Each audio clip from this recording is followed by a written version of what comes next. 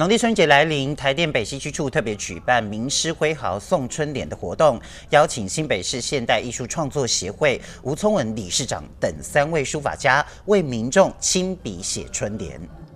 有请我们在地的几位书法名师啊，莅临到我们北西这个现场。那希望这个送春联这个活动啊，能够在这个热闹、喜气洋洋这个氛围来举行的。那主要是希望大家能够。取得这个春联啊，回去就可以做一些除旧布新，那求得明年好运祈福的这个目的。活动一开始，处长多位长官及书法家还共同写下“好运东中来，顾北西”，祝福民众也为台电北西区处祈福。现场也来了多位民众排队索取春联。我们就希望这个春联的话。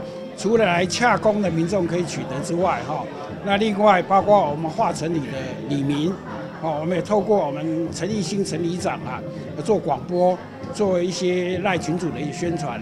活动前，台电还特别跟当地里长联络，广邀邻居里民一同来索取春联。果然，当天现场人潮满满。敦亲睦邻，也服务到台电洽公民众，让许多民众提前感受到浓厚年节气氛。以上新闻，记者林正杰新庄采访报道。